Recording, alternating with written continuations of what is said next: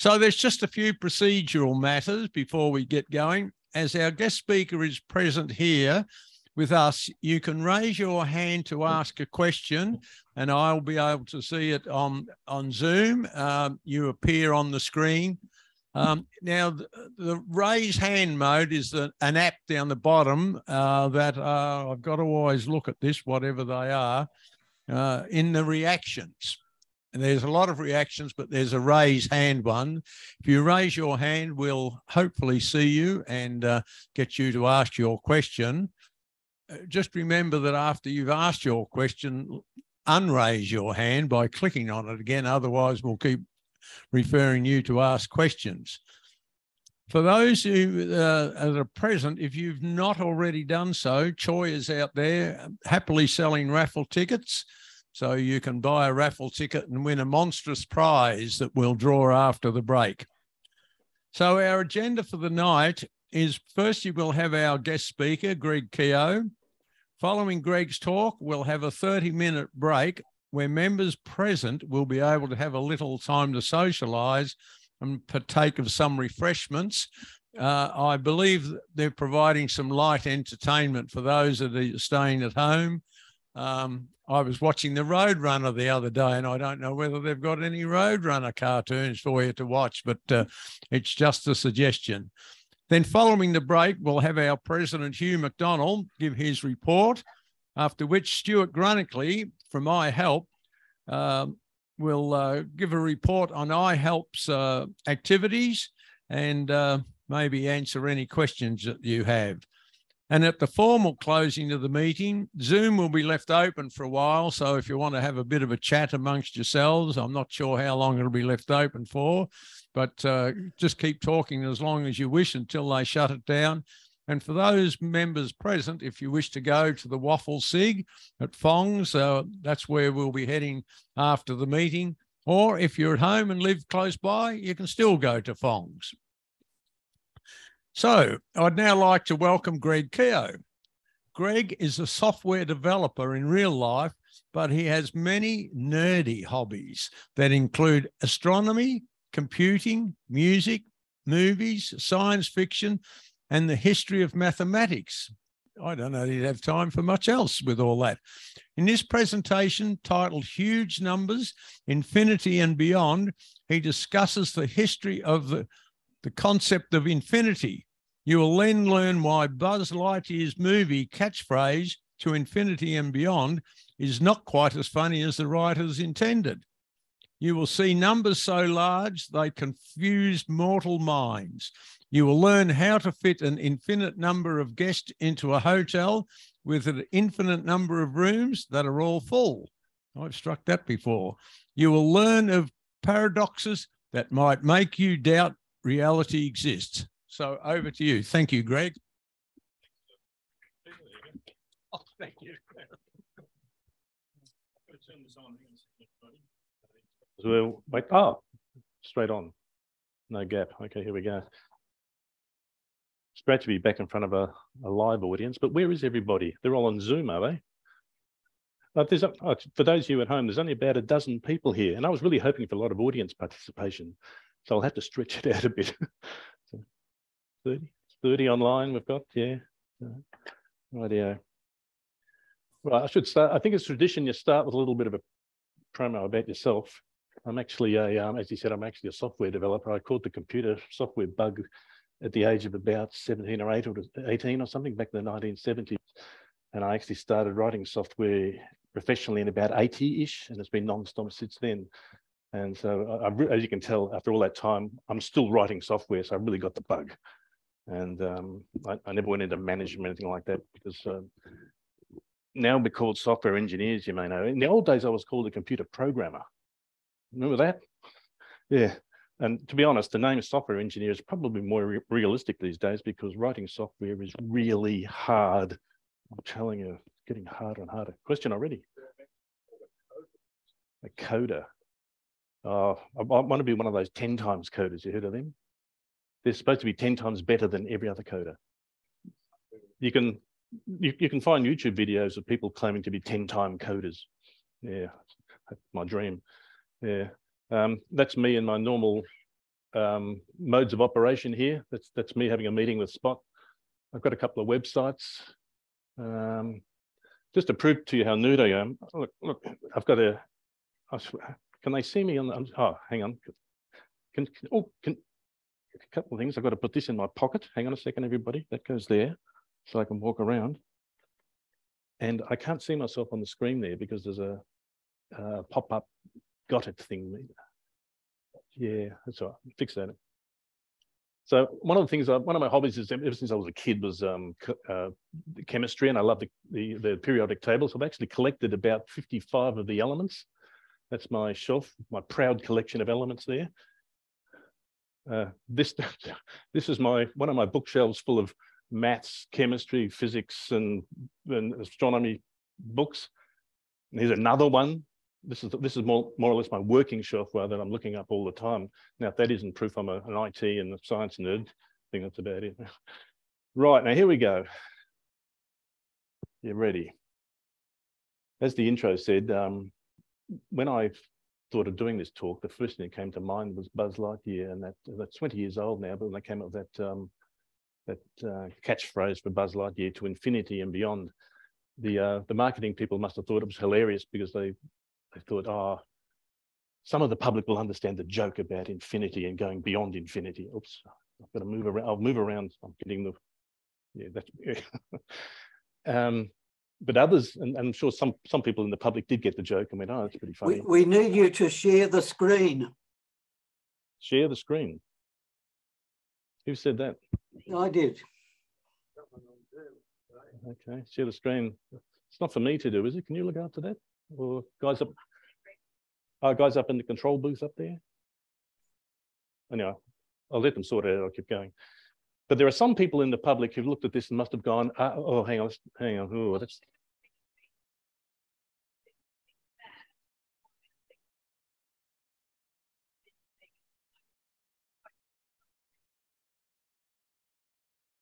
Ah, okay. Can they see it okay? They want to see the actual presentation. That, so they're not seeing the presentation. Uh, is there a quick fix for that, or I'll just go ahead? All right, I'll, people can still see, can they? Yeah. That's all right. Like I'll just go ahead anyway. So I'll, I'll move around. No, we can't see the screen.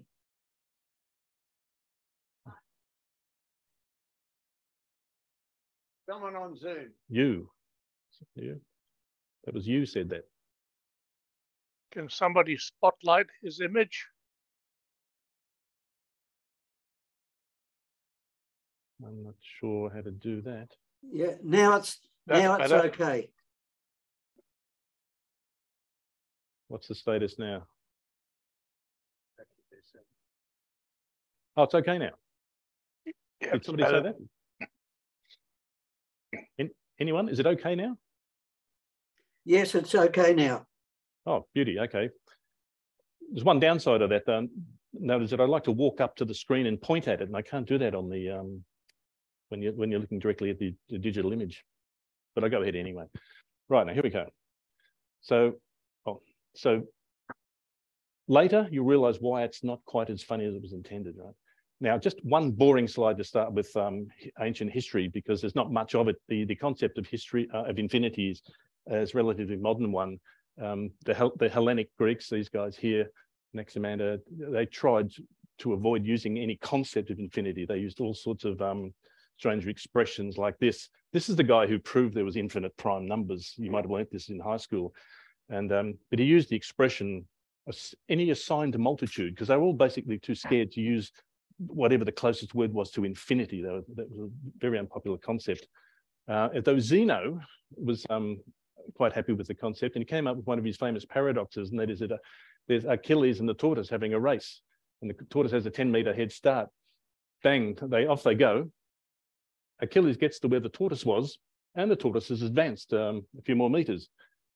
Then, a short time later, Achilles has got to where that tortoise was then, but he's moved on a little bit further, and on and on and on. So the bet is, if this is the way it works, Achilles will never catch the tortoise. He'll just get closer and closer and closer and never get to him. But in modern terms, if you're a high school student, would draw it like this.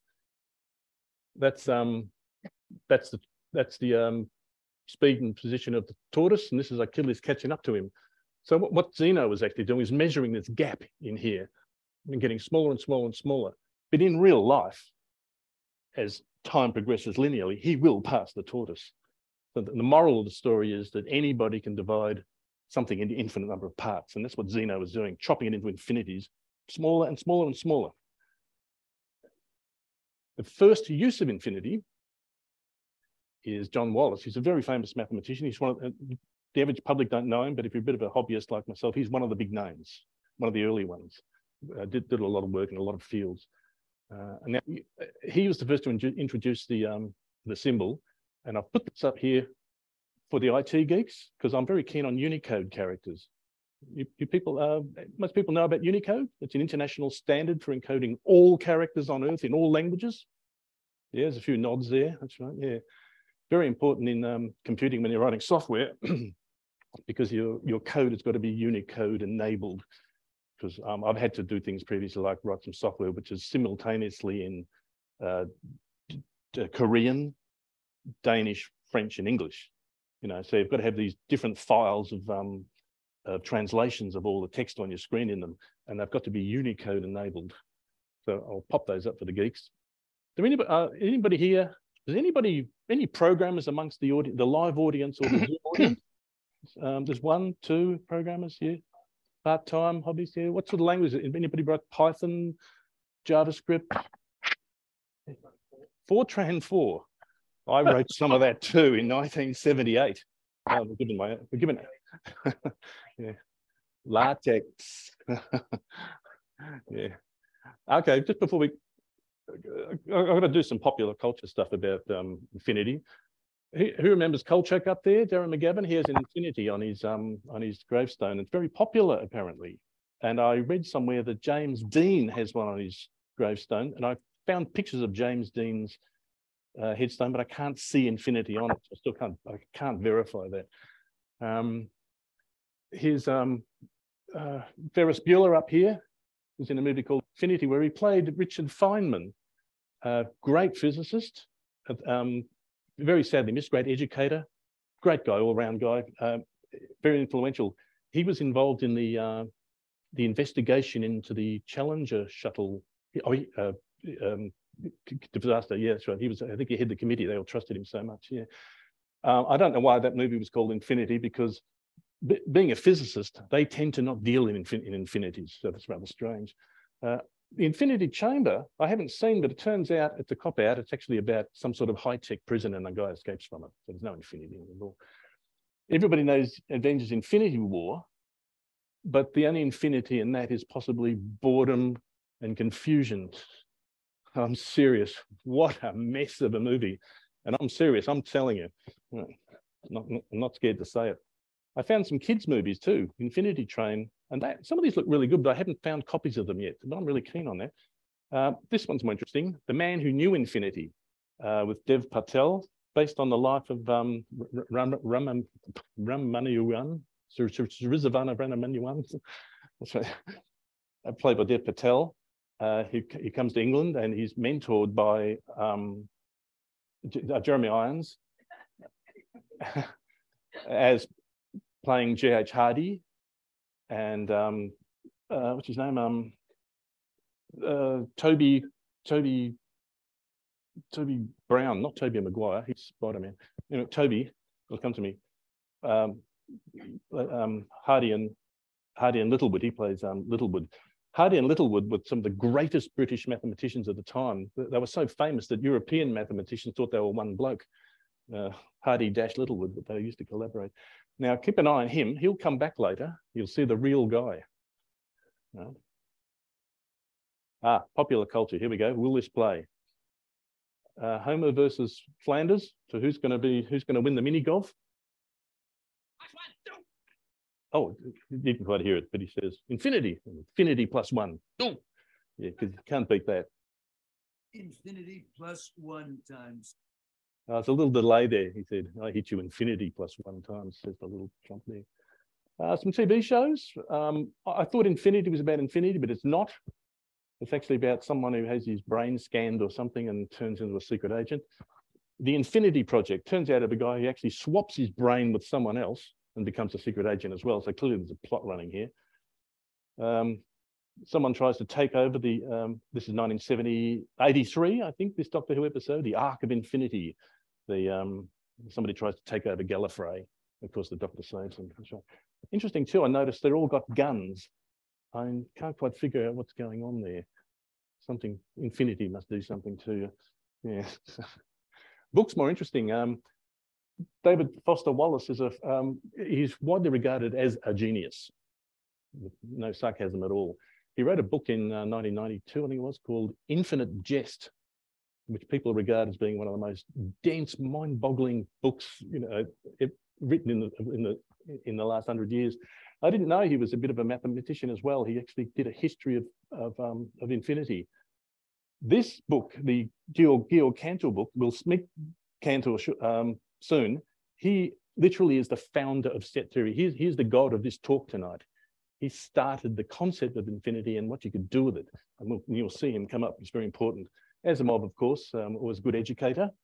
Rudy Rucker is um, a really funny guy. He's a physicist in America, writes funny books, uh, um, uh, and he's a good educator as well. He, he, puts himself out there. Donald Knuth. Oh, we're not worthy. Donald Knuth. Here he is. He's born in 1938. I think um, he worked on he worked on every type of mainframe computer as they all as during their during the birth of the mainframe. Um, he's uh, got fantastic stories. He he's he invented whole ways of doing things that we take for granted now that are migrated into the PC world. How to sort things, how to migrate, how file systems work. He, he's a godlike character to programmers. And that I'm very proudly there is my $200 copy of his hardcover box set of this The Art of Computer Programming by Donald Knuth.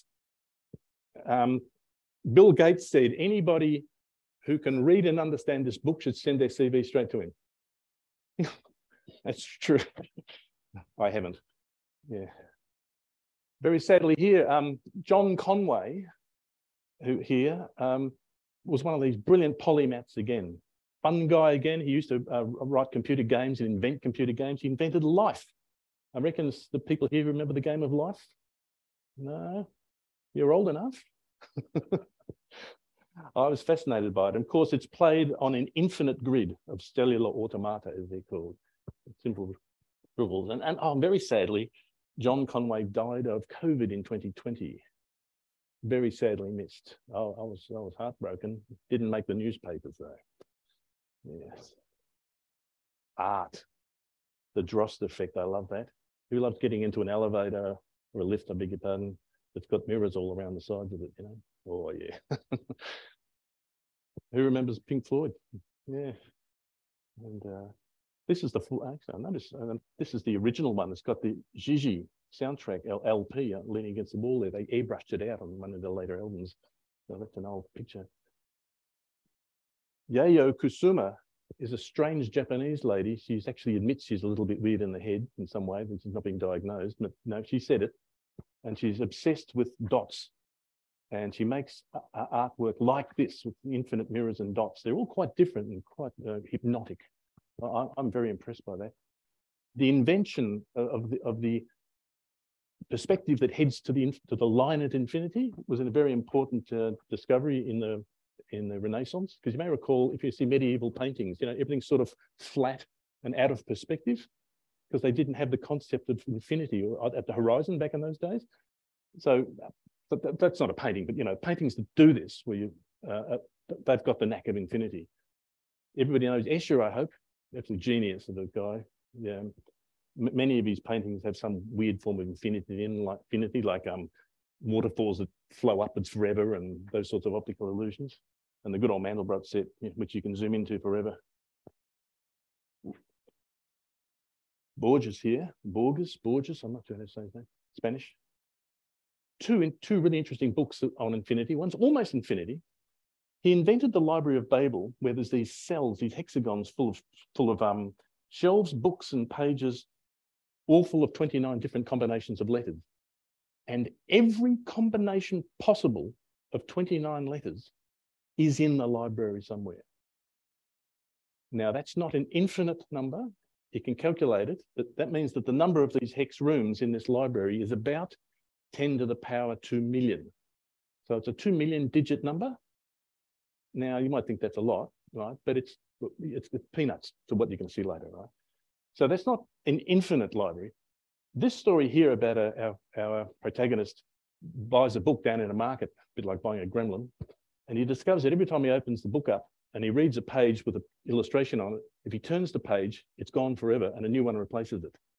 There are actually an infinite number of pages and he becomes obsessed with it. He's trying to figure out what, what, what, what this thing is telling him. And he, he keeps writing down and copying bits of the pages because he knows he'll never find them again.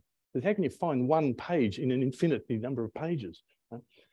And, and, eventually um, he um, decides that he can't take it and he takes the book down to his local library and puts it in the archive. And that's a bit like Indiana Jones. He figures if he puts the book back in an archive, no one's ever going to find it again, saving himself. Yeah. So here we go. This wave here goes forever. It's called the, the Riemann zeta function. In fact, it's so famous, the people at home, uh, the people on Zoom won't be able to see this. It's so famous. Somebody just hold, hold that. Did you get a poster of it? That's my printed copy. That's what it looks like. And it stretches to infinity. And it actually, in a very devious way, encodes the prime numbers. I'll just drop it down. And if you play it in stereo, it's not meant to be a sound wave, but it just so happens you can play it. I hit the wrong button. Oh no, there it goes. That signal will very, very slowly go up to infinity, but as it goes up, it slows down and slows down. So it's the most tedious, slow journey to infinity you can imagine. Interesting, there's little crackling noises in the background. They're not prime numbers, but yeah. So there you go. Yeah. So, uh, okay, real music. Um, Richard Strauss, who wrote some epic works, he's a favorite of mine, very sophisticated composer. Um, they stole his music um, for the opening theme of 2001 A Space Odyssey. That, that opening theme always goes, bum, bum, bum, those three notes. He's based those three notes uh, on, he combines them in various ways and into a 40 minute piece of music called Also Sprach Zarathustra, which is the whole piece. What you've only heard is the opening like minute and a half. I love the whole piece. And um, in one of them, he, in one of the pieces, he has this theme here, which infinitely descends. You, know, you can should be able to hear it now. This is the high bit.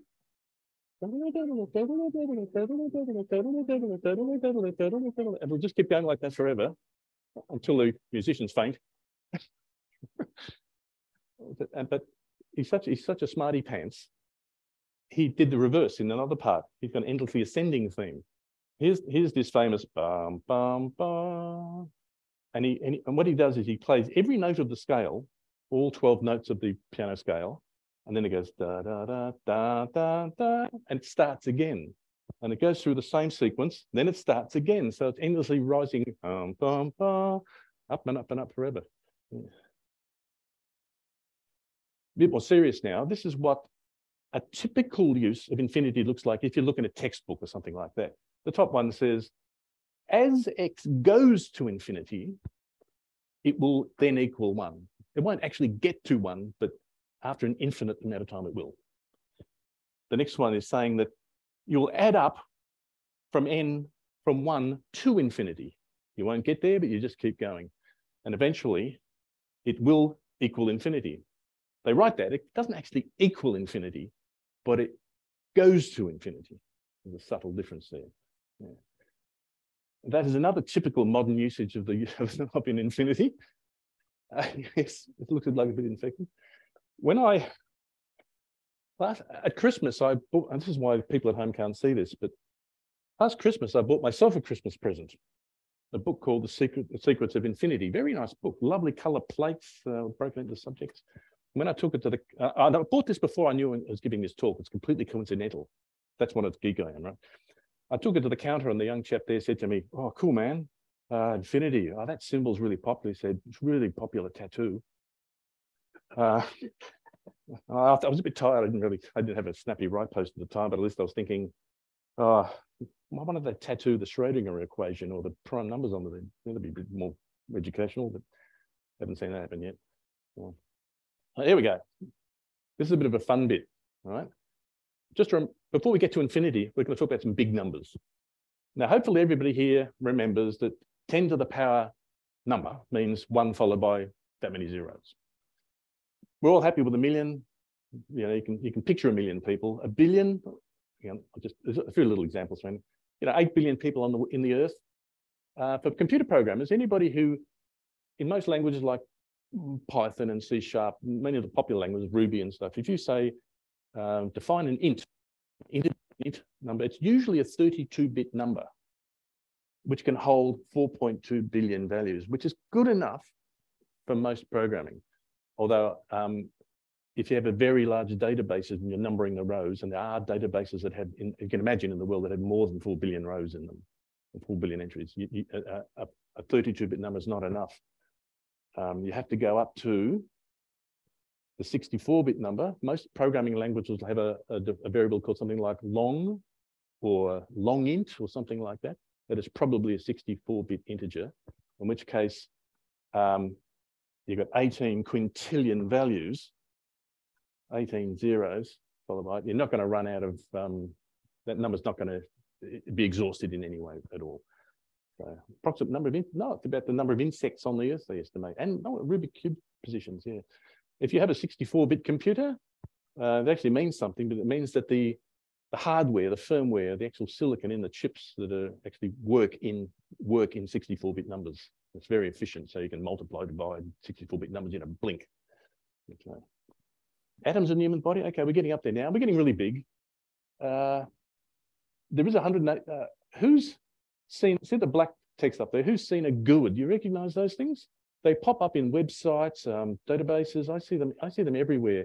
Um, you, you, might see them in, sometimes in the footers of web pages and things, but you, your eye probably just skips over them. They're called globally unique IDs, and they're 100 and was it yeah, 10 to the 38th power different values can be in it. So the idea is that um, if you, you, I'll, I'll bet if I'll bet everybody in this group who's a member of this of this club probably has a GUID associated with their name. I'll bet, but you don't see it. It's probably in the database. I'll bet, I'll have to ask the programmer. And um, the idea is if you can generate GUIDs randomly, there is no chance they'll ever collide anywhere in the world, or not even in the universe, because they're all completely different. Um, just be reminded, if you ever shuffle a deck of 52 cards properly, um, the, the positions of the cards you finished up with have probably never been seen in the history of the universe before either, because there's so many combinations of 52 cards. Now we're hitting the twilight zone now. Around 10 to the 80, 50, uh, 85 is about the estimated limit of the actual number of particles in the whole observable universe. Oops, I just bumped that thing. That's all right. Yeah. Um, so at this point, um, we're leaving the universe behind a bit. So the numbers are now beyond physical reality, known physical reality. And I mentioned a googol because it's so popular.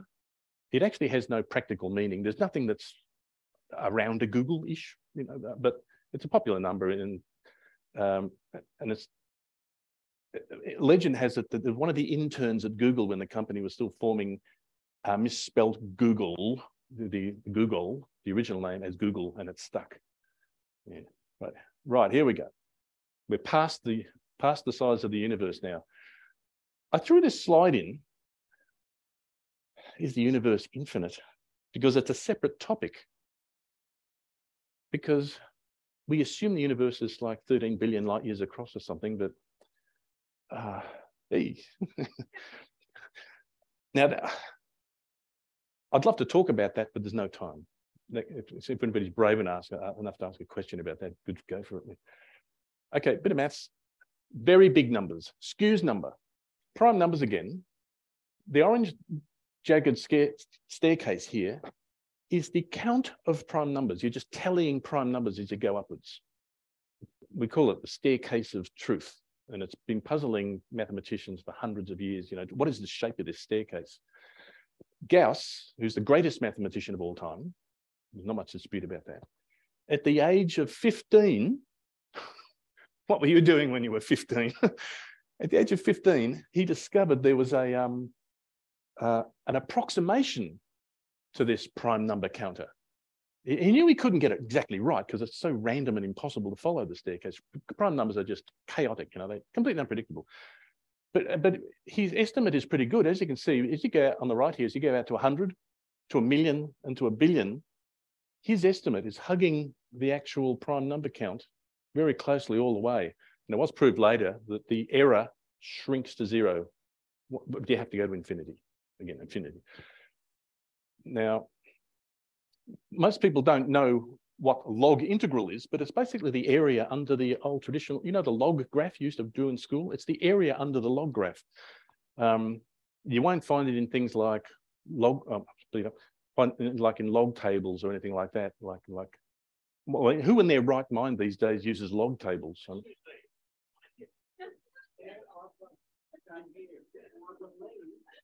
yeah.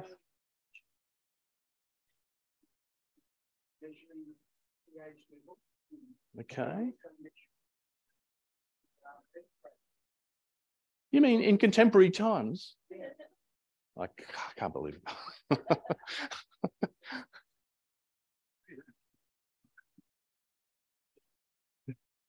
Thank you. Um, what, where was I? pH level in the chemical industry, they use it to measure. The uh, magnitude of earthquakes, I believe they also use it. Well, they're logarithmic, aren't they? Logarithmic, it's Yeah. um, all computerized, I believe, but they still actually use them. And I've still got my log tables from you. school. I can see you've got a four figure and a five figure there. When I was a kid, Yeah, when I got my first five figure log table, I was, I was so so buzzed. Ooh, It's really it's really cool to have a five figure table. Mm. You know, yeah, but I remember learning about it at school and I thought, what the hell am I learning this for? Look over here. He's got a seven figure log table. Yeah. They're only used by um engineers and yeah, seven figure ones. Ah, okay, surveyors. Okay, yeah. Yeah. Did yeah, yeah.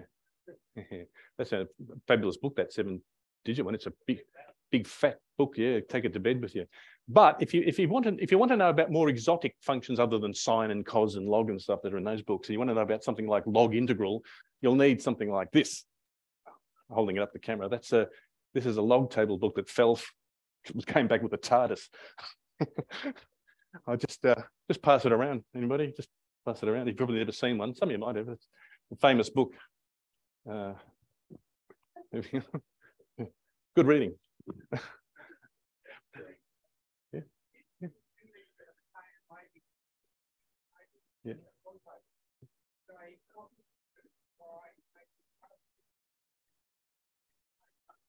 Clever.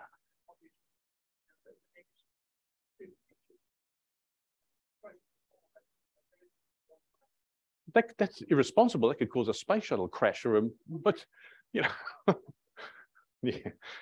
Well, what happened was, um, uh, there's, now there is Toby, Toby, what's his name? I said he was in that Man Who, um, Man Who Knew Infinity movie.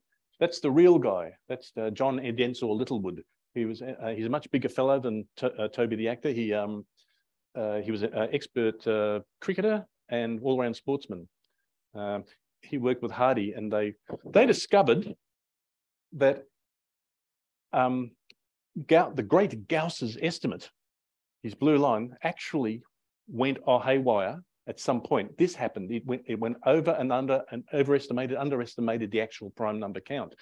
And this actually stunned people to think that Gauss was wrong, right? He had a he was a godlike character in mathematics. So the question was on, okay, if this thing crosses over and Gauss's guess is wrong, where does it happen? What's the first point? Uh, he got his student, Stanley Skewes here, who was a South African math- uh, mathematician living in England, who was actually a rowing partner with um, Alan Turing, another great um, computer name, yeah. Greg, you've got a question from someone, um, David? Uh, At home? David, ask your question. Can you hear him? Can they hear me? Nod if you can hear him. Wave. No, no, okay. So Skewes came up with two possibilities for where this magic crossover points happened. There was a, a, a worst and a best guess. So, it, so now, if you look at this number here on the left, which is the most optimistic guess, 10 to, if you took, took from, the, from the top down, 10 to the 34th power is a reasonable number. You can write it down, it's one and 34 zeros. It could be the number of water molecules in Port Phillip Bay or something like that, something like that. But if you take 10 to that power, you've got to write down one, followed by 10 to the 34th zeros, which humanity couldn't do. Oh, if every person on earth did it, you'd be, oh, I don't know. But then you take that ridiculous number and then write that many zeros. So this is what's called a, a tower of powers. They turn up quite a lot in maths. So this number was quite famous for a while. I heard about it as a kid. It was one of the largest famous numbers in mathematics. It actually had a useful meaning. And luckily it has been reduced. That crossover point is currently down to around 10 to the 316. So they made a big improvement. At least that's a reasonable number, a 300 digit number. You know, that's we can deal with that. Um, but unfortunately, as I've said here, it's still far, immensely beyond our computing power. We've only got prime number calculations up to 10 to the 27 at the moment. So getting up to 316, it's, it's science fiction. I don't, computers won't be made of matter or if we ever get to that stage. But that, okay, the, the, final big number, I only learnt about this one myself about a year or two ago. Graham's number is so big that it, well, yeah, you can't even write it in this tower of power format. It, it won't fit in the universe. My mate, Donald Knuth again, that's my boy, he invented a special notation, these up arrows, to invent numbers that are bigger and bigger in staggeringly huge jumps. So two to the fourth is just two to the power four. As you can see, three arrows push it up to like a tower of 65,002 powers in a stack, which is already a number just beyond idiocy. So Graham's number is actually, you read this from the bottom up. You get the number three, four arrow powers of three, and that number is already so large that it's absolutely absurd. Then you get that number of arrows and put them into there, into the next layer. Then that's even bigger number. Then you get that number of arrows and put it into all the way up the stack 64 times. The number at the top is Graham's number. It is um, currently regarded as the biggest mind-bogglingly idiotic number that actually has a proper meaning. And we know it's the last digits, but I better race through this. All right, mental preparation for infinity. Here we go. David Hilbert, great mathematician, um, one of the top five of all time, dashing fellow, good educator, has a hotel with an infinite number of rooms in it, and they're all full. Somebody comes to reception and demands a room. What do you do? now, I know Charles knows what to do. He's, he's busy reading his Abramowitz and Stegun book. Hilbert knows what to do. That title, Der Geheimrat, is the highest honor of a title that a German mathematician can get. That was his title at the time. Here we go. Thanks to Derek for this video extract. You get on the PA and you tell all the guests to move down a room.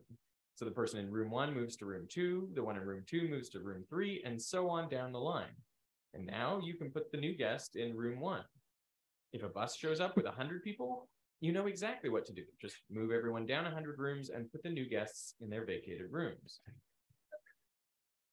It's true. It's an infinite hotel. Just push everybody down and you've got spare rooms.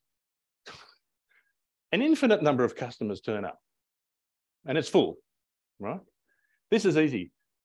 The red, the red numbers at the top are all the full rooms. Get on the blower and tell every person to go to the room that's double their number now. So you get this. So all the green ones, one, three, five, seven, nine, they're all empty now. All right. So, and there's an infinite number of odd numbers. So you fit the infinite number of people into the green, endless number of green rooms. It gets worse. an infinite number of buses arrive, each containing an infinite number of people. And the hotel's full. I made this up, they're all different. Buses contain different types of people, right? There's an answer to this too.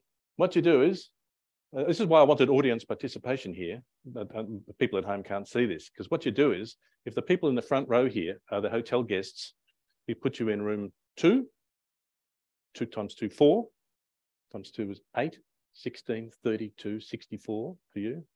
Just times two, times two, times two, times two, right? So you all moved. Next row, well, the, what are you? Next row, you're the uh, the banjo players. You you go to room three times three, nine, three, 27 times three times three times three times three. Next is five. We can't use four because if I send you to room four, clashes with the twos. Yes, that's right. He's got it. Yeah. So five by five by five by five by likewise. Ballerina's in room seven by seven by seven by seven. Yeah. There's no way he's going to find the right room. We- have helpers. For the retarded. So somebody saw that straight away. What the pattern is, they're all prime numbers. Because you have to assign everybody a prime by prime by prime by prime, so there's no clashes. If you use any numbers that divide each other, bingo, they'll collide and, coll- and you get, you don't want ballerinas in room with golfers, right? Certainly. I don't know what could be the worst combination, mineral, mineralogists and banjo players, I don't know. So everybody gets a room like that, and there's no possibility of a clash. And so the infinite number of people, and every bus has gone into an infinite number of rooms that were already full. Bingo, it's all done. Uh, some rooms are left empty, unfortunately, like room six isn't used. That's not important. There's a way around that. Uh, just, just very quickly, what you do is make a little spreadsheet of all the all the buses and all the hotel rooms and all the passengers, and you number them like this: room one, two, three, four, five, six, seven, eight, nine, ten, across the diagonals forever. The, the, the people will be jumbled up in their rooms a bit, but every single passenger in, in every bus will get a room and there'll be no gaps. So that's the super duper way of fixing that problem. Right. So we've this is what we've learnt from that little exercise with Hilbert's Hotel, that infinity, you can add it, multiply it, whatever, and you're just stuck with infinity again. Right. That's the that's the paradox of infinity. Right.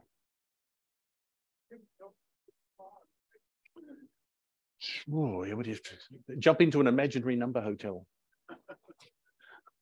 Yeah. Oh, look, I tricked myself. You know, I made, I poked fun at Woody before because he was um he was beyond the infinity and beyond. I forgot that one of my favorite movies actually had that, and Stanley Kubrick used that expression and beyond the infinite.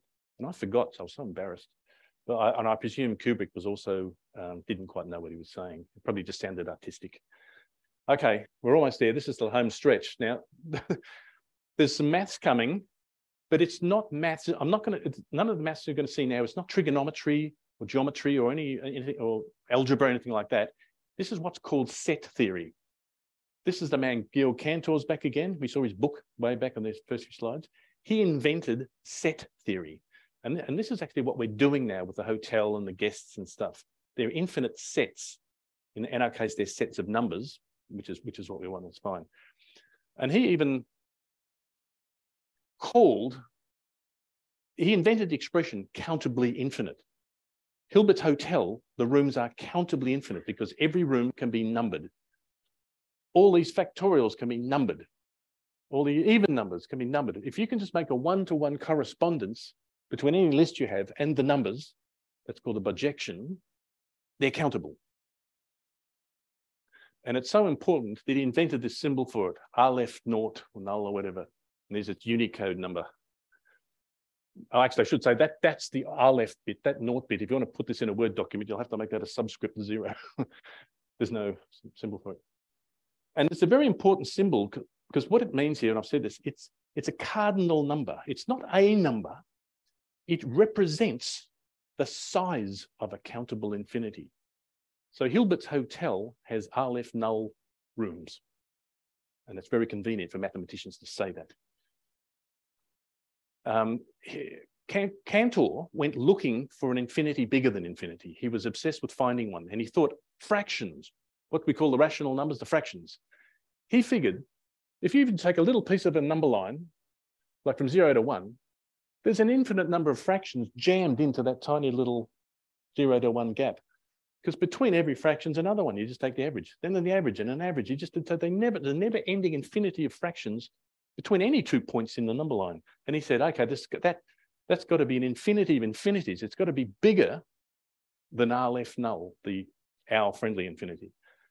But he was wrong, because what you can do using a spreadsheet trick again, you can write out every fraction that exists on an infinite spreadsheet. See, it goes one, one, two, three, four at the top there, three, four, five, six down. So every fraction is there. And what you do is do the old diagonal count again. And you put them in room one, two, three, four, five. And here they are here. Room one gets a half. Uh, one, a half, two, a third. You get a duplicate two. Doesn't matter if you have an empty room. Doesn't matter. We know that. Three. So, so basically, by just going up the diagonals through all of these, you will get every fraction and put everyone in a room. So they are actually countable. So Cantor was wrong there. You think there's lots of fractions, but they're the same number. Then he thought, okay, algebraic numbers. Everybody remembers your high school maths. An algebraic number is just any number made out of plus, minus, divide, times, and, and a root. I, I made these up. Root two is a, a, a simple one, but those top two and the one on the left, that's just junk I made up. But they're algebraic numbers. They can be as stupidly complex, or as idiotic as you want, but they're still an algebraic number. Cantor thought, okay, there must be so many of them jammed into the number line everywhere that there must be more than infinity of them. No, he was wrong again. Because there's a trick. This is the only bit of high school maths slide in the whole presentation. Every one of those numbers, like this one here, this weird fifth root of 99 I made up, is actually the root of this polynomial. You remember your quadratic polynomials? You probably drew, drew quadratics and that sort of thing. This is just a polynomial with 10 tenths degree one. So what you do is he, he just simply, that's from Ferris Bueller, this guy. He's the guy who bored everybody. What you do is you just count the polynomials that correspond to the um, algebraic numbers and they're all countable. So he was wrong there and he was about to give up, but he, he succeeded. He invented, uh, it's, look, it's too, I, I don't have time to explain how he did it because that's really getting into the heavy maths he did he he, he concocted an infinity called Aleph one, which is bigger than Aleph zero. He actually, so at this point, um, Buzz Lightyear is broken, right? Because there is there actually is an infinity bigger than our normal, you know, infinity. And I'll explain in a second. And that and it's legitimate. I just quoted some reputable websites here that talk about Aleph 1. Now, I'll, I'll tell you what it is in a second. And this is a history book of mine that explains how we turned Aleph 0 into Aleph 1. But it's just to prove that I'm not pulling your legs, right? There is a proof, but I'll, I'll explain what's going on. The whole idea is that if a bus rolled up with Aleph 1 people in it, they couldn't, they could not get into Hilbert's hotel because it's an infinity bigger than that infinity of rooms. You, would fill it up with an infinity of people, and there'd be another infinity waiting, and more and more and more, because that infinity is actually bigger than Hilbert's Hotel's infinity. And this is where Buzz Lightyear's um, infinity and beyond, the joke starts. Now, it gets worse. Cantor realized if I can concoct this Aleph 1, which is bigger than that one, this infinity is bigger than that one, I can do it again using the same technique. And again and again. So what he did was Cantor actually astonished all his compatriots, and they were actually rather upset with him. He discovered an infinite tower of infinities, each one bigger than the one before. So if you had a hotel with Aleph 3 rooms in it and a bus rolled up with Aleph 4 people in it, they won't go in because it's bigger. Hmm. okay, getting close now. I just want to take you back to the number line which you saw before. We all we've all seen the number line probably since we're in primary school, right? You know, when you, you draw different numbers on it and you make Cuisenaire rods and things and join them up. Do you remember those things? Yeah. Every number is on the line somewhere. I picked those ones out of a hat. Oh, famous ones, there's pi and e, you know. So the question is, oh, that's right. I, I mentioned a slide rule here because I loved having a slide rule when I was a kid because it reminded me of the number line. And of course, no one in their right mind these days would still use a slide rule. What? What? what? Give me the microphone. About. No real engineer would be seen dead without a slipstick in his hand. And it's even got, it's got all those lovely logs on the back too. Look at that. It's fantastic. That's Yeah. a triple scale. Yeah, you can borrow that. Have a- Oh, have pass a- it around. go- Have a. Oh, pass oh, it around, yeah. go. Yeah. Yeah, it's a. So it's a lovely way of representing the number line. That's a logarithmic number line on those, on those slide rules. I yeah. keep a regular plastic one on my desk, not the lovely bamboo one. With a circular one too? Oh, yeah. well, Oh, Darmstadt and the Hemmi. Darmstadt. Yeah, the, yeah, okay, Aristo, Aristo. yeah. And when you take the um, slide out under, underneath on the back, all the formulas from my math exam. Oh.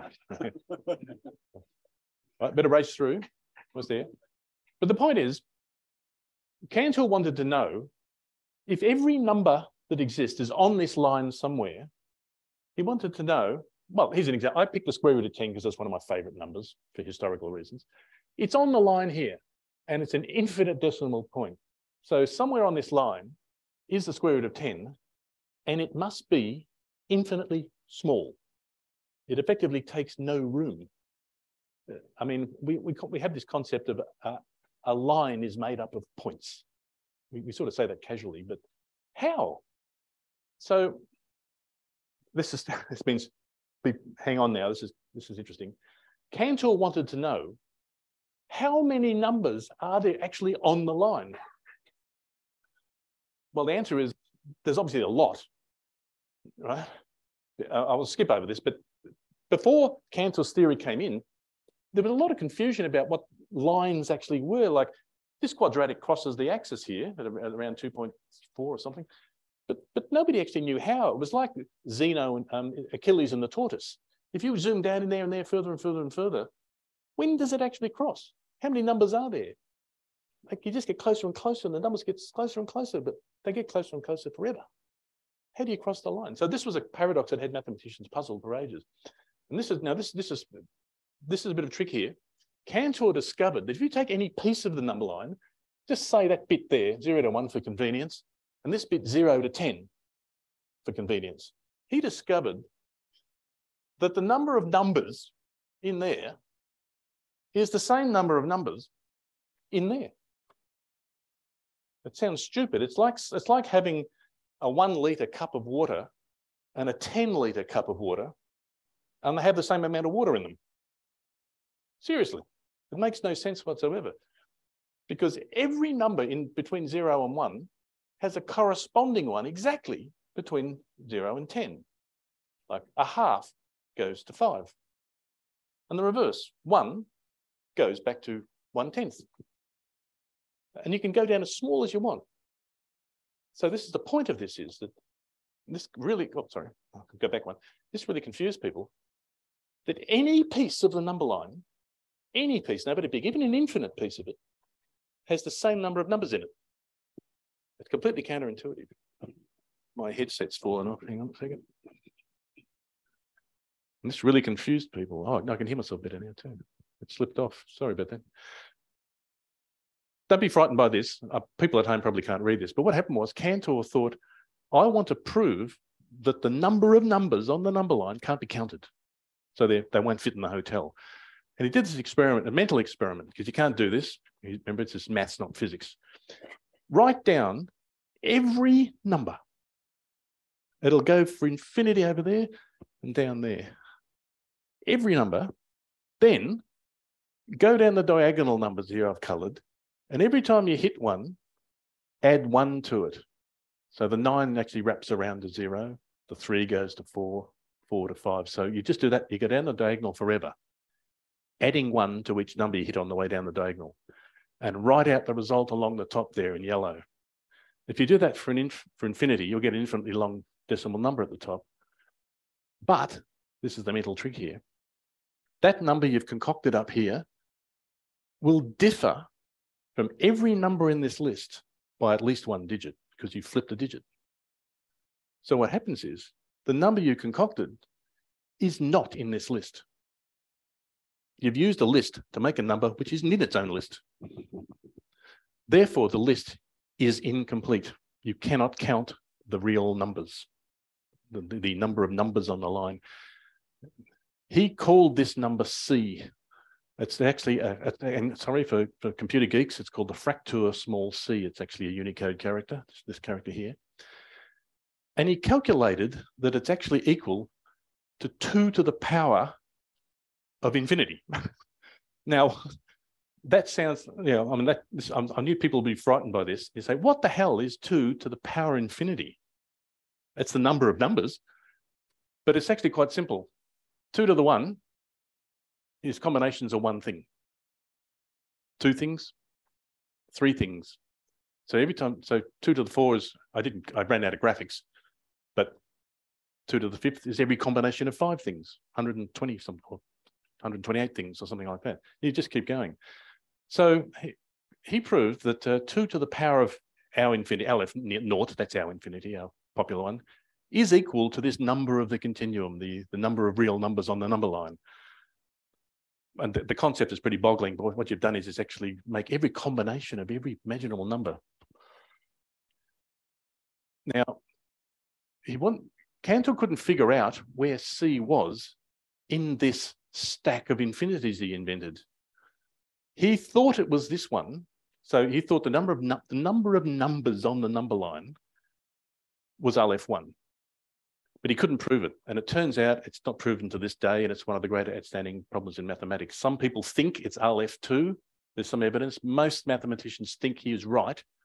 It's, it's that one. No prize for it. And, and if you think you can sit here tonight and solve it, there's bad news. Because in 38, Kurt here proves that the, the continuum hypothesis can be true. It doesn't break any rules if it's true. In 63, Paul here proves that if it's not true, it also doesn't break the rules. So this continuum hypothesis can be both true and false. Yes, serious trouble there, which means that the hypothesis might be actually outside of mathematics. It's a meta-mathematics. So now, okay, we're almost there.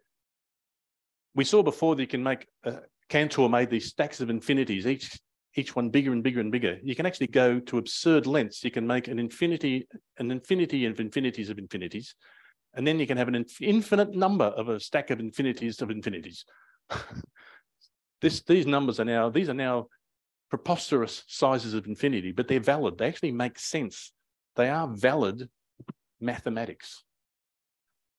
So I'll try not to fall, let this thing drop off my head. It's only about a slide left now.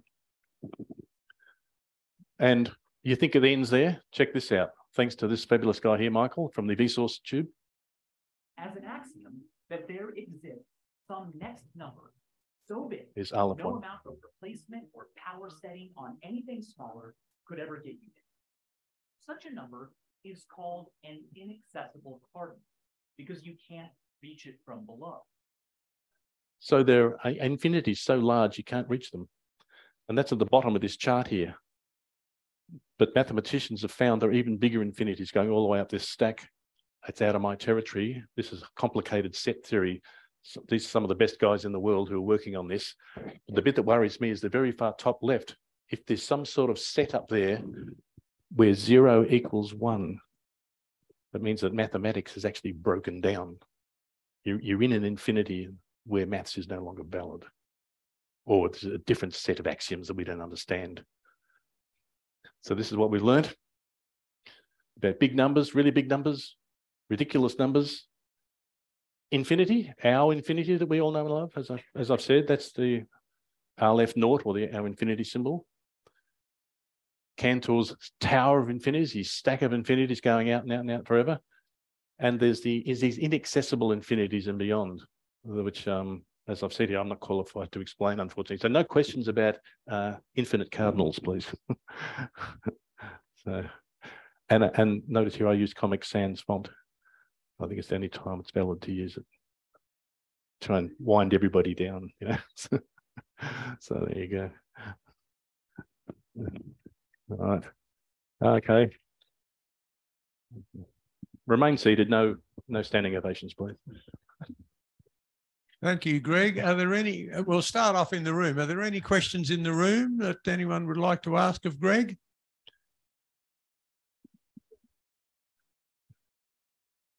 I'm getting nervous now.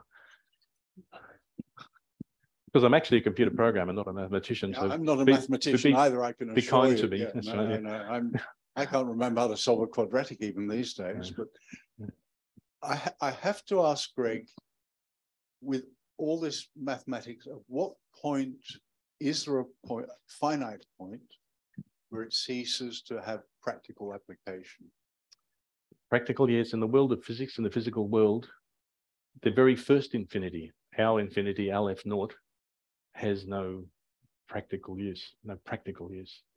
Um, they have theoretical uses. I should point out that Aleph naught is very popular in mathematics. You see infinity symbols everywhere. Aleph one does pop up in a few specialist places. There are certain sets and certain certain special branches of maths where they know that this thing has Aleph one things in it. But after that, they're all out of Cantor's imagination and all the set theorists. No practical use whatsoever. Right. Yeah.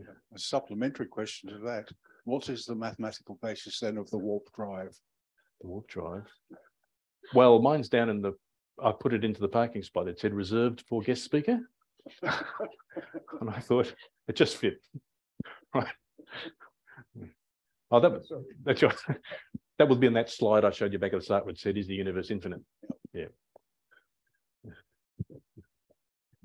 Um, just, a- Is that you or me?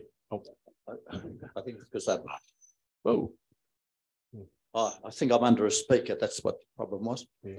Um, just uh first of all, you've made me very happy that I chose engineering rather than mathematics as my field of expertise.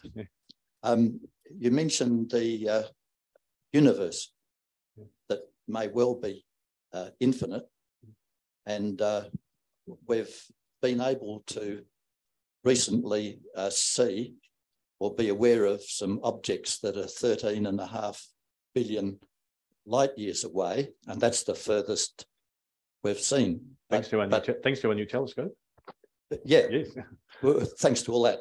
But uh, there's also an understanding that the universe is about 13 and a half or thereabouts billion years of old, of age.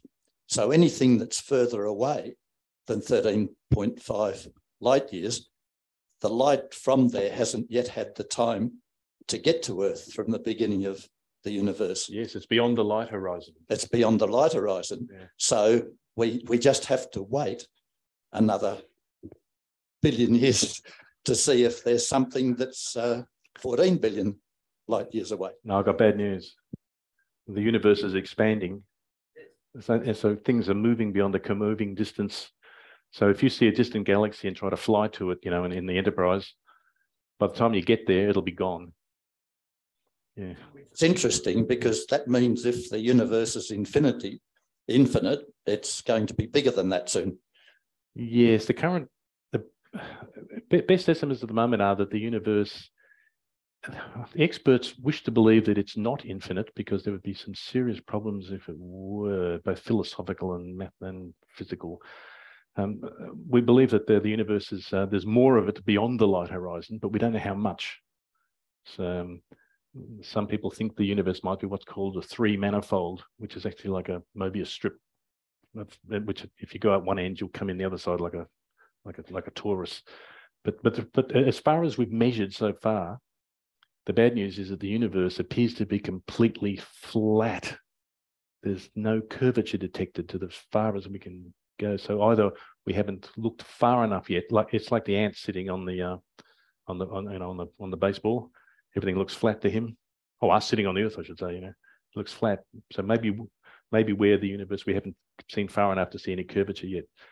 And it's a serious philosophical problem too. If the universe is actually infinite, like that book of Babel by Borges had there with every combination of every letter in it, it would mean if the universe is infinite in every direction, forever, infinite, somewhere out there, there's going to be a recurrence. There'll be another room with uh, people like us sitting in it and even an infinite number of them, because all the atoms, there's only so many atoms, 10, 10 to the 50 atoms in the earth. Somewhere out there, there there's going to be, because it's infinite, there's going to be another earth or something very close to it. There could be another room out there somewhere in the universe where we're all sitting here and we've all got three eyes and I'm the Pope. Seriously, I mean, uh, this is no philosophical joke because if you rearrange all the atoms, they're going to come together in some form. It's very frightening. There could be an evil me out there.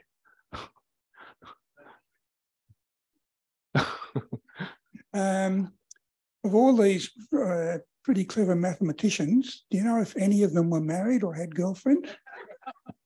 Oh, I should have had a. Seems like they. I've done Yeah. another. I did a talk um, to the Morty skeptics about four or five years ago, and I had a a, a tile a tiling a tile up, like a like a like a Zoom guest tile pictures of all the famous mathematicians. I think I said at the time that's a bunch of pretty bad blind dates.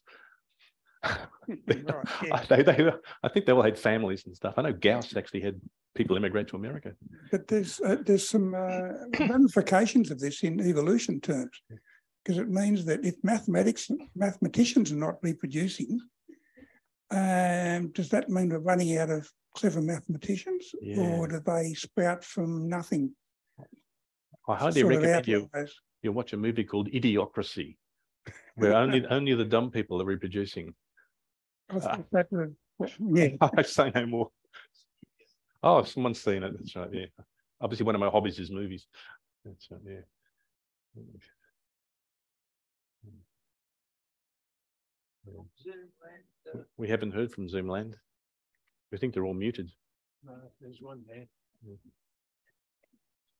John Thompson, you've got a question? Yes, I'd uh, I most enjoyed really enjoyed that talk, but I'd like to uh, know what the speaker's advice would be if he had a grandson who said that he wanted to be, become a mathematician. Oh, well, remember I'm a computer programmer. There's a lot of overlap with good com- computer programmers have a lot of overlap with maths because we use a lot of algorithms and stuff. I think the first thing, my first suggestion would to be to be autistic. well, that stunned the audience. So No, you'd no. you'd think within the universe, the, the universe, there's room for a few more mathematicians. Oh yes, I'm working on some myself.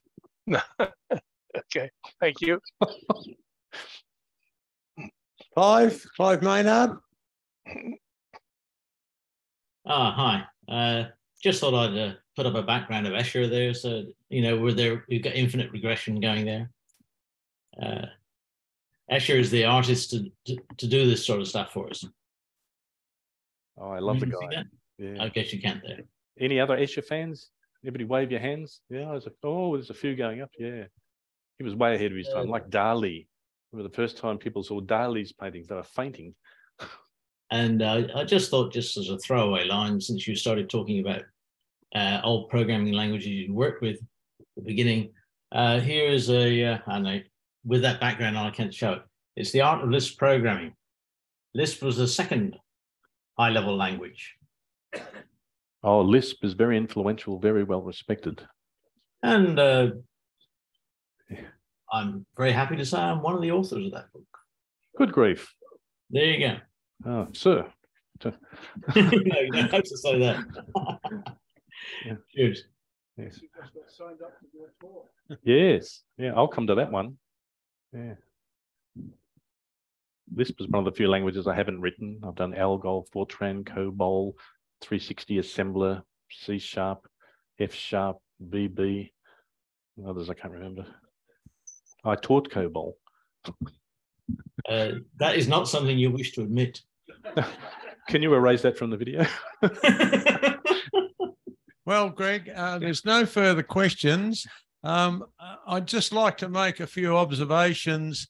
Uh, sadly, my parents have uh, departed this life because I'd have to go home and tell them that uh, in 1945, when they sent me to Warrnambool Primary School, I learnt none of this. Um, so uh, either my education was neglected uh, or it was a pretty awful school to go to. But uh, look, thank you very much. Uh, uh, 95% of it was over my head. Um, I'm a very simple man. But on behalf of the members, I'd just like to give you a small gift, and it happens to be just a bottle of wine.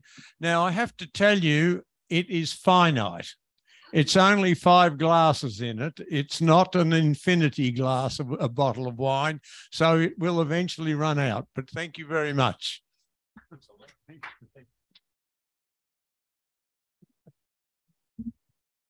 So now for those uh, here, we're breaking for uh, 30 minutes, which will make it uh, 20 to 9. And uh, I believe there's some light entertainment for you at home.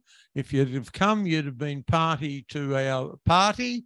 We'll all be happy and merry in half an hour's time. Those of you, again, that haven't bought a raffle ticket, uh, Choi's somewhere around that she'll quite happily take your money. And we'll see you all in 30 minutes. Thanks.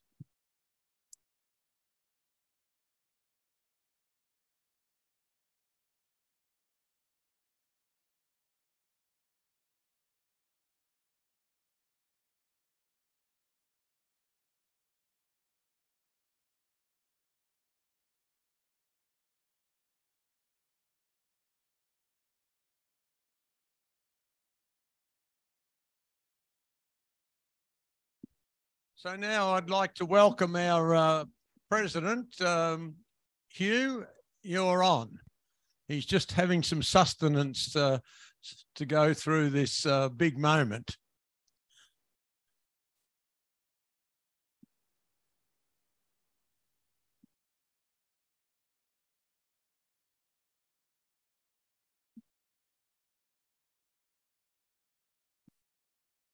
Thanks, Peter.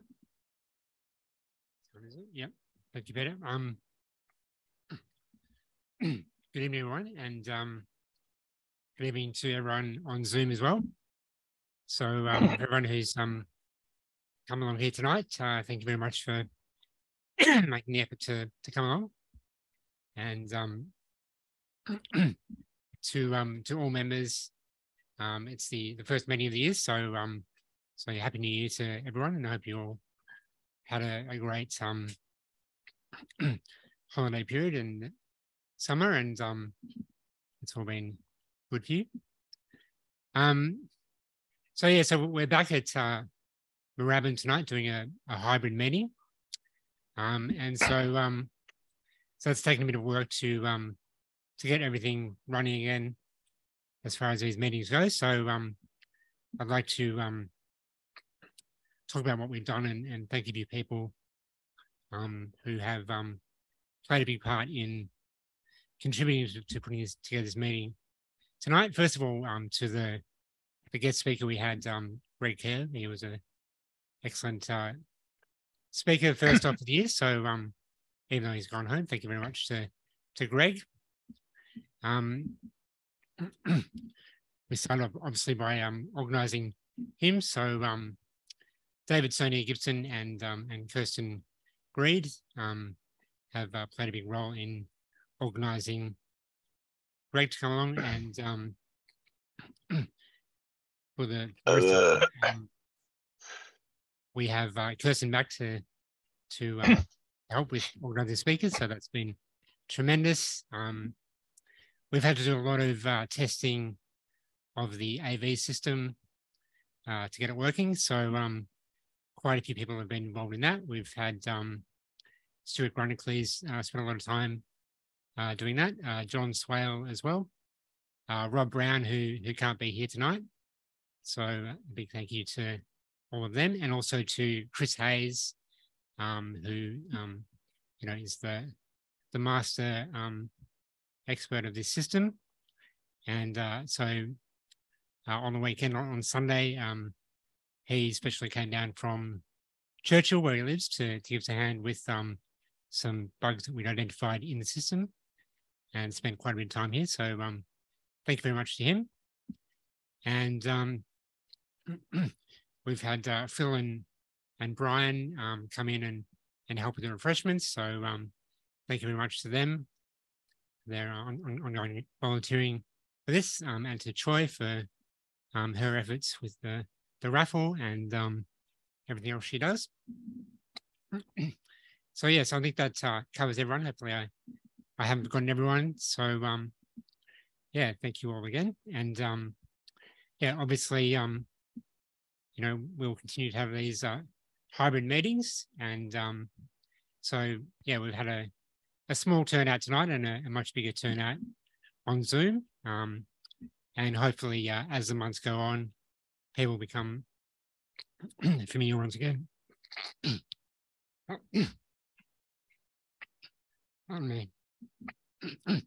With um, sorry about that. Um, as they become familiar once again with uh, coming along to Moorabbin, um, we uh, get more and more attendees. Um, so um, we yeah we have some uh, you know plans for um, other, other events uh, this year. Um, some more um, in-person stuff here at Moorabbin. So um, you know as the months go on, um, we will um, announce uh, more around that as we finalize those plans as well. So um, you know one of my aims as president was to get uh, a lot more happening at Moorabbin. So hopefully that is something we will achieve as the, the year goes on.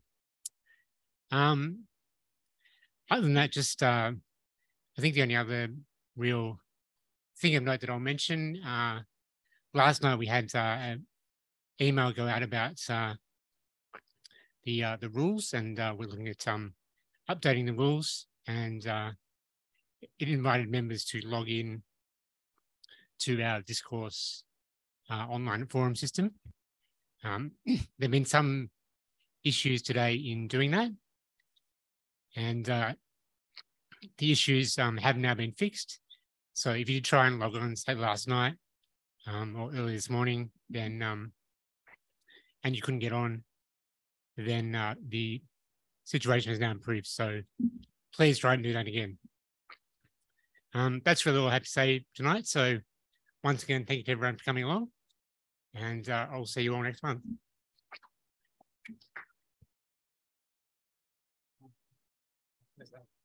Sorry, I was going to.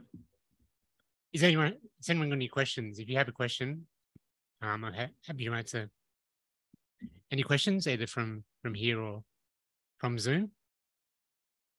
Anyone have any anything they want to ask?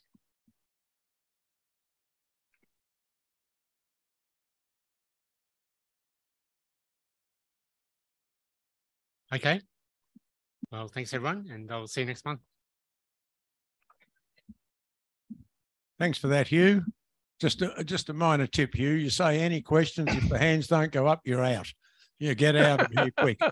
But I see someone has got their hand up, but uh, you've gone. So uh, um, two hands went up, but they've gone. Not to worry.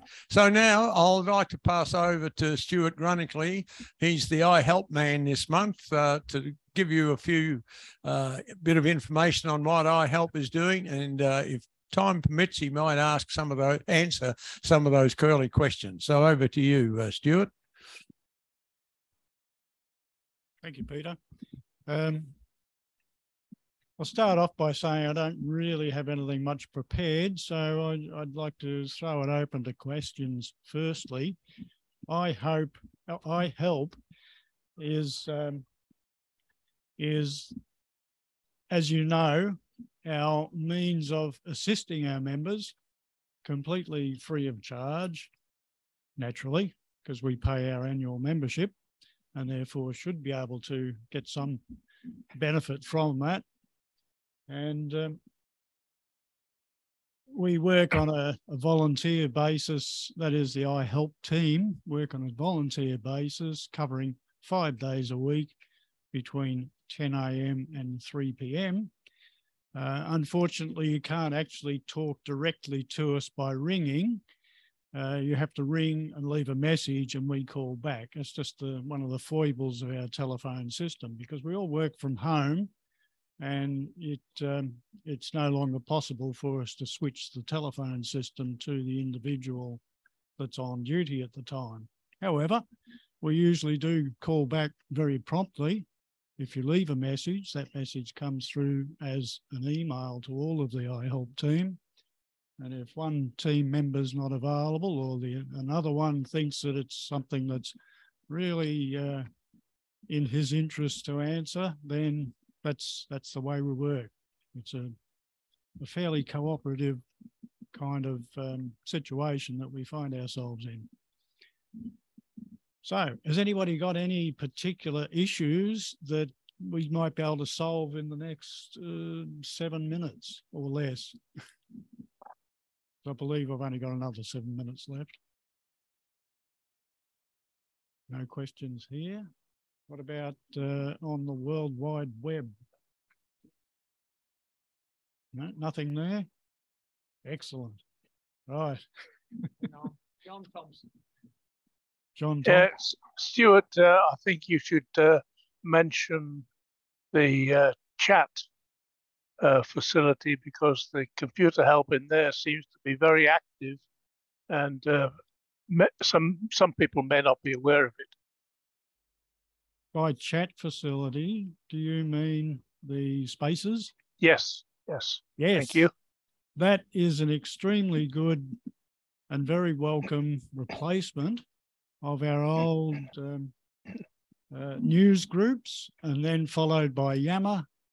Um, Spaces now is the place to go to to get answers about anything in, in life, uh, particularly in the chit chat area. But we do have other specialist groups like Linux and um, email issues and computer issues.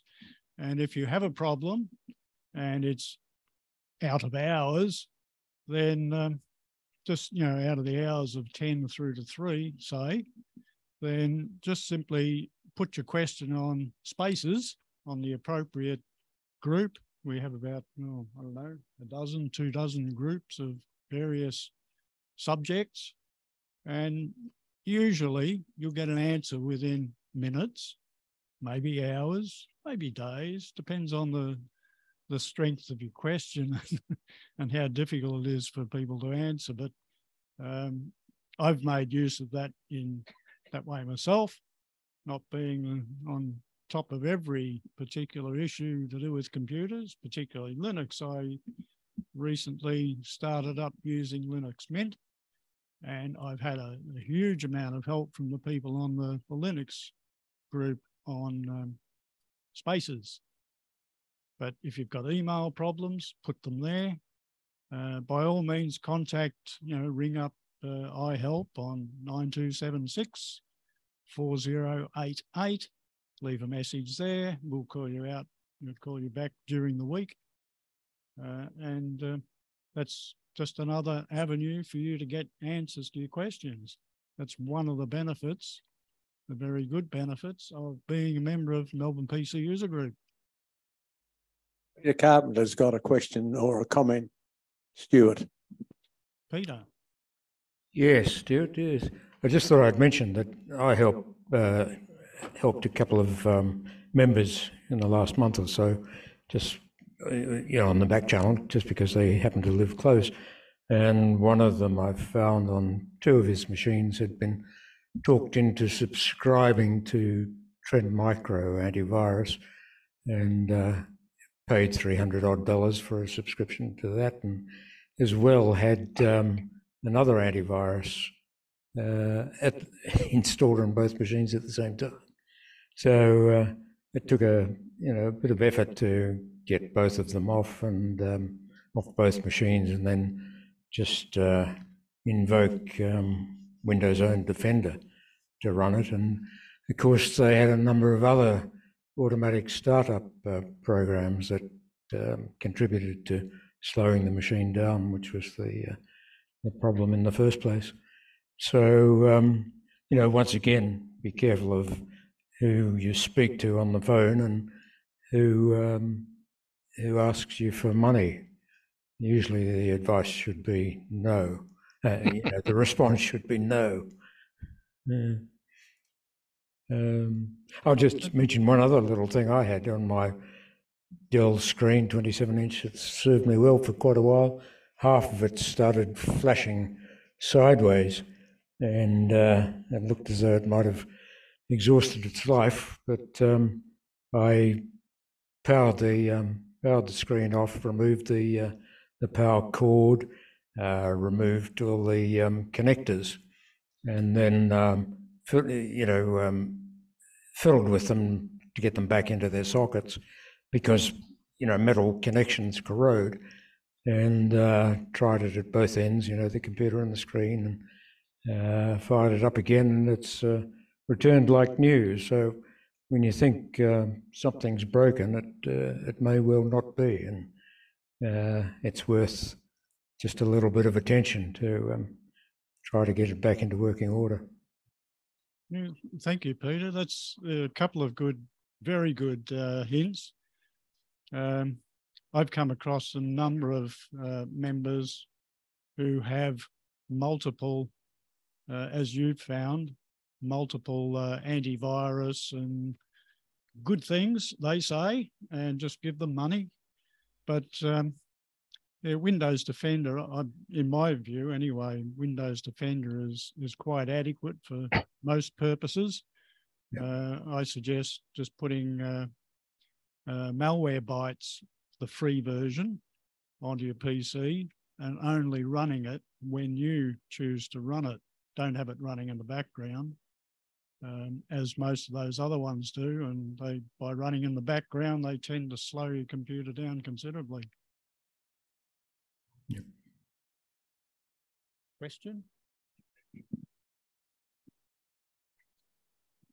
That's a very in interesting topic, and I'm just wondering if it could be a subject for a talk here one time, expanding on, uh, you know, antivirus, antivirus, all that sort of stuff. Mm -hmm. I mean, I, I contribute, I, I subscribe to Norton 360, but I'm not completely sure that I need to.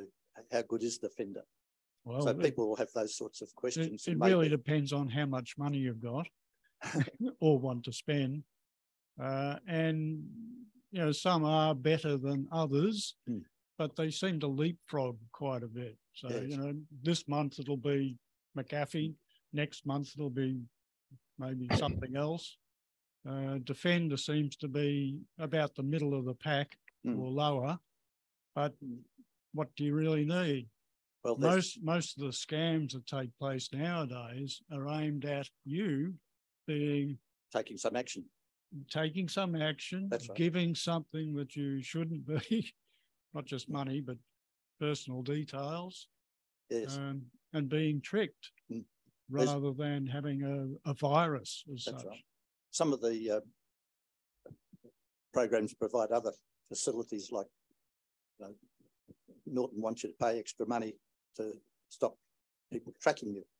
Whether mm. that's necessary or not, I don't know. But but maybe somebody who's right up with the whole thing could turn this into a to a talk for one of our meetings. Yeah, I, would agree with that. I got an email from MyGov today, and I looked at uh, where it came from, and it certainly wasn't MyGov.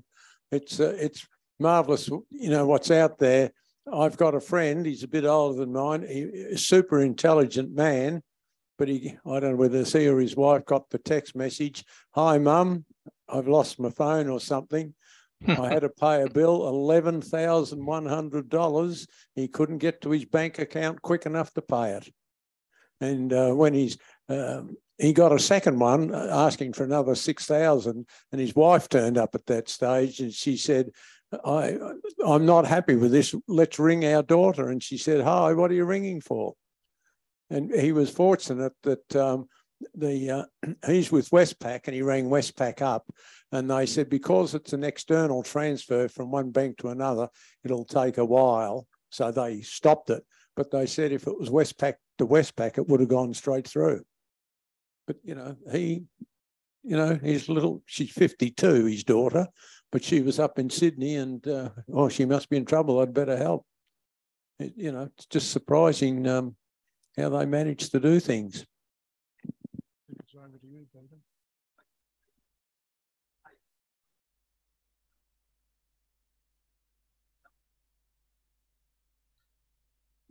My uh, wife tells the story that um, when the phone rings, uh, we found if you pick it up and there's no one there, it's usually if you wait a few seconds, it's someone from India wants to talk to you. So she hangs up this happened two or three times. In the end, she got a text message from her daughter-in-law. Why do you keep hanging up on me? So I think my wife talked her way out of that.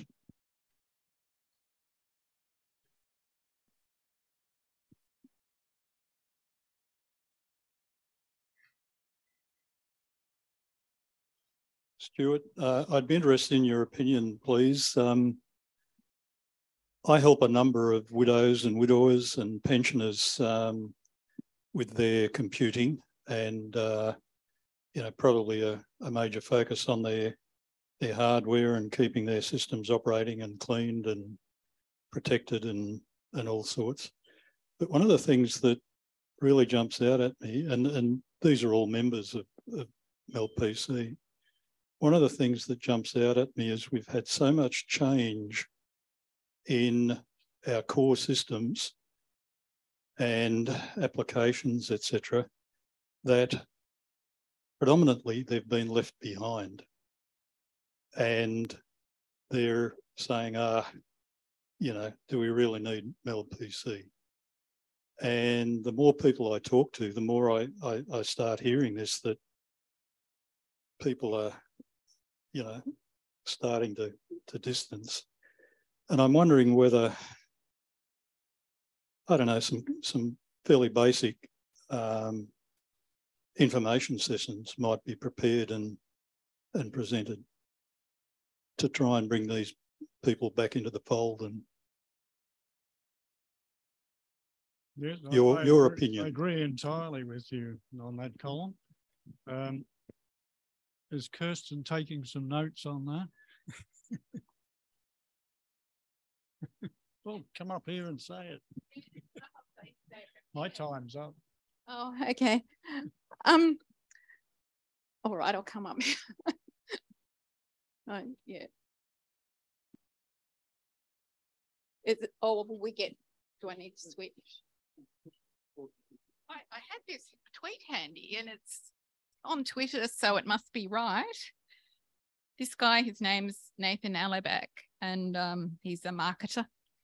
But he goes, um, technology has advanced so fast the past 20 years that much of our elders' wisdom, or how it's communicated, has become stale. So younger people now go to other younger people who can communicate better for guidance, but they're also less wise and are often selling something. That's my answer to that.